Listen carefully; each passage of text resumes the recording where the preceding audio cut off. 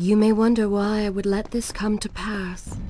So many dead, and likely more to follow. An empire reduced to rubble. A prince cast to the streets and hunted like a common criminal. But I had seen the timeline. And of all the outcomes laid bare to me, this one held the most promise of them all. For the prince would have an opportunity to set things right. Watch now.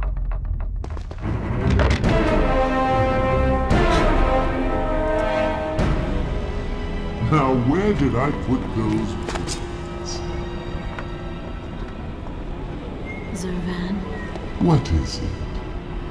in case I don't get the chance again. You impudent pig! I offer you life eternal, and this is how you respond? Oh, I shall enjoy changing you. Hello, Prince. Not quite the homecoming you expected.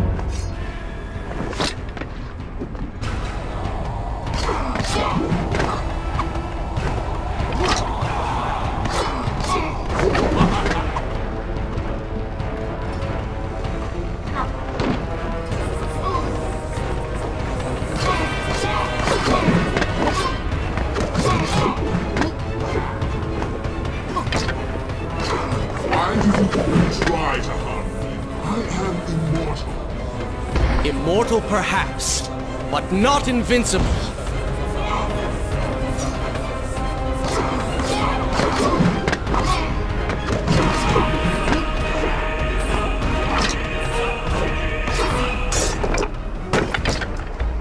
You will pay for what you have done to my people. Them? Things will be better now. You should thank me. They live among mindless monsters in service to your madness. It is the price of progress.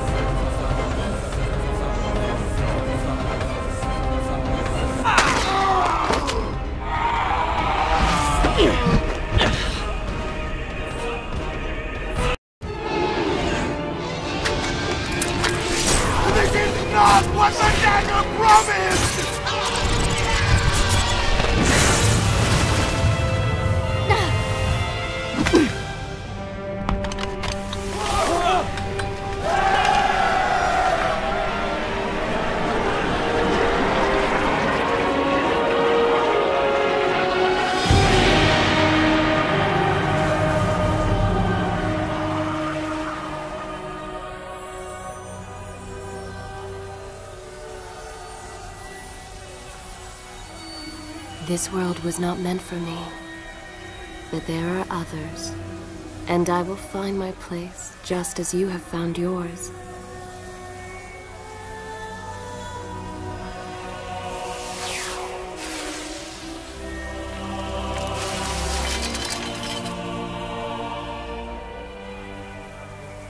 Be free now, Prince.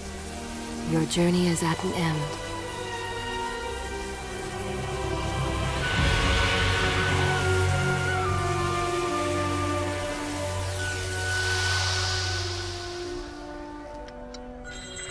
What is it?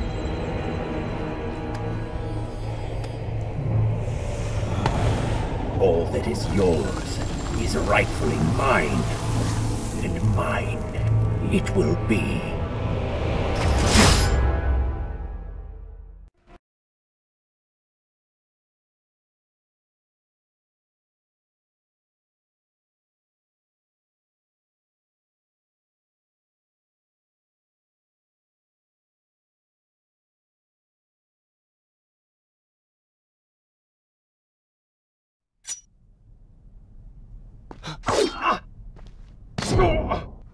What did you expect? That when you slew the Vizier, I would simply disappear?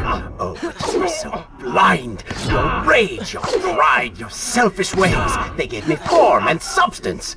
Even with the sand gone, I have the strength to remain. And with the Vizier gone, I can take your place and rule the kingdom. And there is absolutely nothing you can do about it.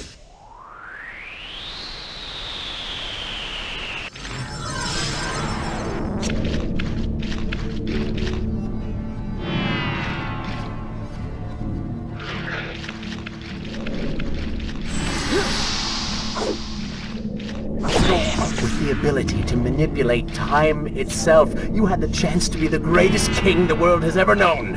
What wars you could have fought, what monuments you could have erected in your honor, what women you could have kept.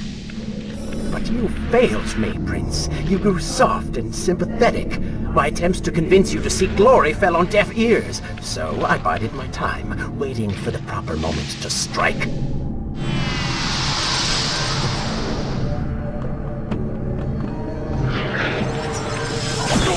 You do not deserve what you have been given. Control of the world's greatest empire. With the power at your command, you could rule the world. You have squandered it, Prince. I would do it justice, and so it should be mine. You are just a parasite! You deserve nothing! But don't I? Have I not earned it? Do you think you would be here now if not for me? How many times did I save you? How many times did I unblock your path, take down your enemies, remind you of your mission, while all you did was cry about your father, and Kaileena, and Farah, how everything bad always happens to you? Boo-hoo, Prince! Your words are empty, have always been empty. You are just a desperate, selfish spirit. If I am selfish, Prince, it is because you are. If I am ruthless and reckless and lacking in morals, it is because you are. I did not spin myself out of the ether. I was not conjured by some mad vizier. I am you. No. I have seen the error of my ways, and I have atoned for the transgressions of my past. I am no longer that person.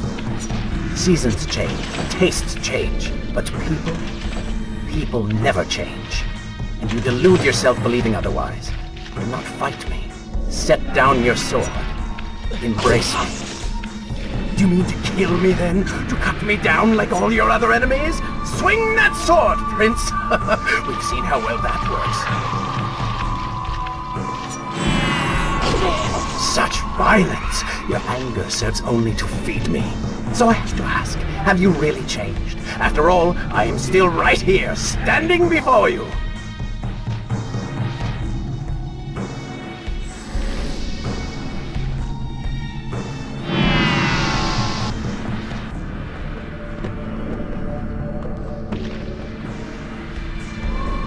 Prince, leave this place. It reeks of sadness and cruel intentions. Must not chase this shadow. Turn away. Wake up. I will lead you.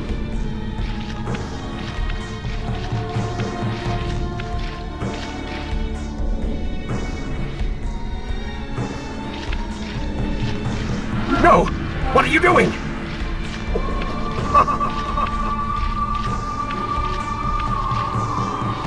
Do not ignore me! Do not leave me behind! Wake up. Wake up.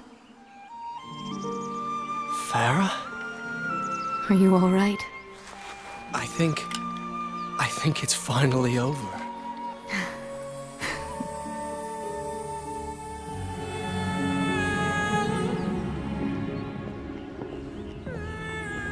Prince, there's still something I don't understand. How did you really know my name?